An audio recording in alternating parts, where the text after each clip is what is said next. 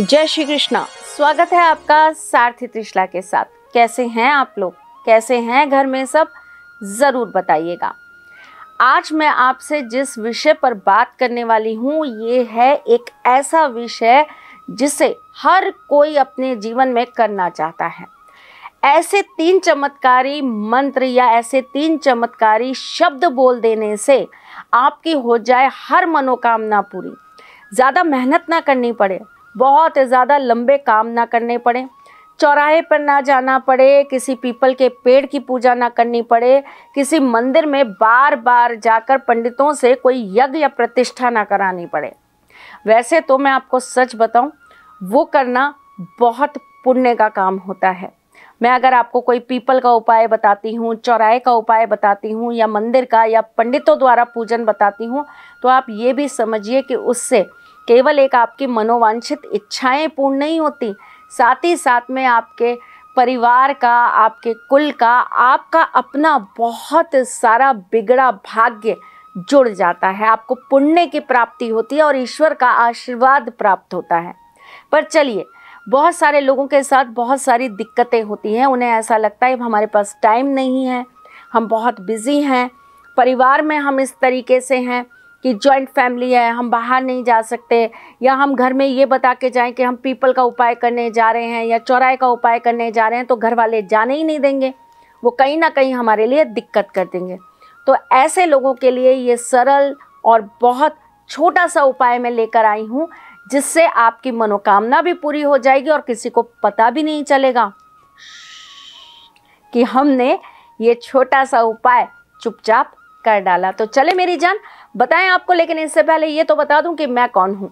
मैं आपके एस्ट्रोलॉजर हूँ, वास्तुशास्त्री हूँ, चेहरा भी पढ़ती हूँ, आवाज़ भी पढ़ती हूँ और हाथों की लकीरें भी पढ़ लेती हूँ। चूँकि आपकी साथी हूँ इसीलिए आपको जीवन का सार बताने चली आती हूँ। आपके जीवन की बहुत महत्वपूर्ण बातों के अंदर ये भी एक बहुत महत्वपूर्ण चीज़ होती है, जिसे आज मैं आपसे शेयर करने जा रही हूँ।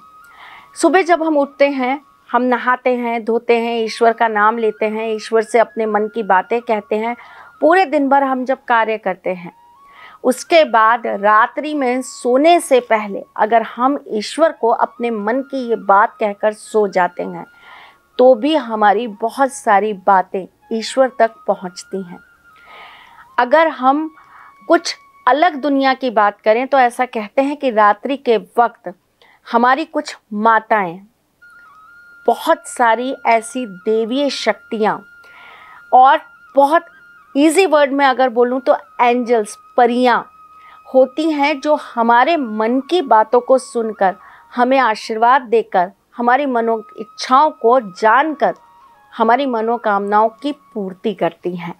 और ऐसा सिर्फ़ दादी नानी की कहानियों में नहीं होता, बल्कि हकीकत में भी होता है। इसीलिए रात्रि के समय आपको बहुत सारी चीज़ें बताई जाती हैं करने के लिए। जैसे एंजल नंबर देती हूँ। ताकि आप जब वो एंजल नंबर्स लिखें, बोलें तो एक एंजल जो आपकी हैं, जो आपके लिए ईश्वर ने जिन्हें बनाया है, जिन्हें आपके साथ भेजा है, आपका प्रतिनिधित्व करने के लिए। और ऐसे ही बहुत सारी देवी, देवता हमारी इच्छाओं को सुनने के लिए रात्रि में भ्रमण करते हैं और हमारी मनोकामना को जानकर आशीर्वाद दे देते हैं। पता नहीं कब किस रात में आपका भी नंबर आ जाए और पता नहीं कब आपकी बोली हुई बात उनके कानों तक पहुंचकर आपको तथास्तु के रूप में मिल जाए। तो ज़रूर करिए रात को सोने से पहले इन तीन शब्दों का प्रयोग और अपनी मनोकामना बोल दीजिए। पूरा समझ लीजिए करना कैसे है इस कार्य को। गलती और त्रुटि होती है तो ही कार्य असंभव होता है। अदरवाइज़ अगर आप तरीके से करेंगे तो ये कार्य सिद्ध ज़रूर होगा। करना क्या है? तांबे के लोटे के अंदर आपको जल भर लेना। अब मुझे यहाँ पर यह एक्सक्यूज़ नहीं चाहिए कि तांबे का ना लोटा हो तो क्या करें?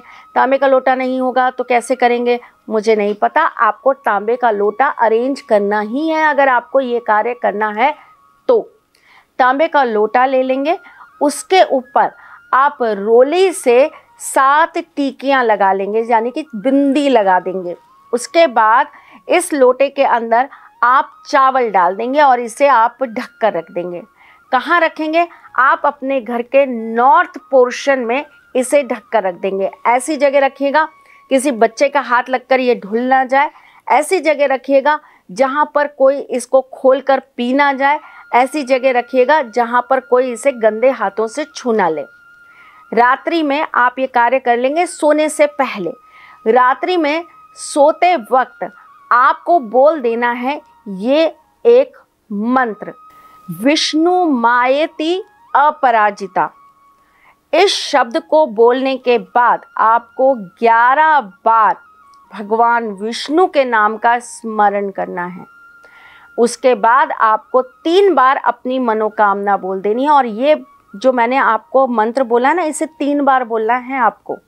तीन बार मंत्र बोलिएगा, ग्यारह बार भगवान विष्णु का नाम लीजिएगा और फिर तीन बार अपनी मनोकामना बोल दीजिएगा। हफ़्ते के किसी भी दिन से आप ये कार्य चालू कर सकते हैं। मेरी तरफ़ से डेज़ का कोई आपके ऊपर पाबंदी नहीं है। अब आप रात को ये बोलकर, अपनी मनोकामना बोलकर सो जाइए। अगले दिन सुबह इस लोटे के जल को ले जाकर आप किसी पौधे में डाल दीजिए। अगर वो वृक्ष या पौधा कांटेदार नहीं होगा तो आपको और जल्दी और बहुत ज़्यादा इफ़ेक्ट मिलेगा।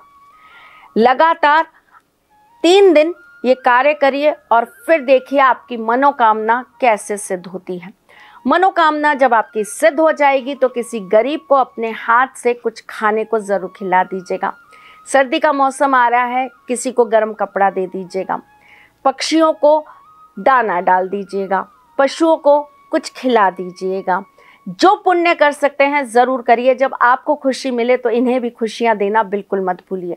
मैं फिर आऊँगी कुछ नया, कुछ अलग, कुछ अद्भुत लेकर। तब तक के लिए मेरी जान, मुस्कुराते रहिएगा, रिश्तों में मजबूती बना के रखिएगा, अपने साथी के साथ यूँ जुड़े रहिएगा, प्यार देते रहिएगा, प्यार लेते रहिएगा। ख्याल रखिएगा अपना और उनका, जिनसे आप प्यार करते हैं।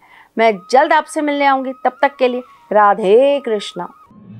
सारथी माँ त्रिशला ज्योतिष के क्षेत्र में विश्व विख्यात नाम है ज्योतिष शास्त्र में पीएचडी माँ त्रिशला पिछले 22 वर्षों से ज्योतिष की सभी परंपरागत विधाओं के साथ साथ अनेक दुर्लभ गुण विधाओं, जैसे परछाई एवं नव्स के अध्ययन से अपनी सटीक भविष्यवाणी और पूर्वानुमान के लिए विख्यात हैं। अपने उपायों द्वारा लाखों लोगों का जीवन संवार चुकी माँ त्रिशला लगातार 2016 से ज्योतिष विभूषण अवार्ड प्राप्त कर रही हैं। साल 2018 में उन्हें उत्तराखंड के मुख्यमंत्री त्रिवेंद्र सिंह रावत ने ज्योतिष विभूषण अवार्ड से सम्मानित किया था और साल 2016 में उन्हें राजस्थान में बेस्ट एस्ट्रोलॉजर के अवार्ड से नवाजा जा चुका है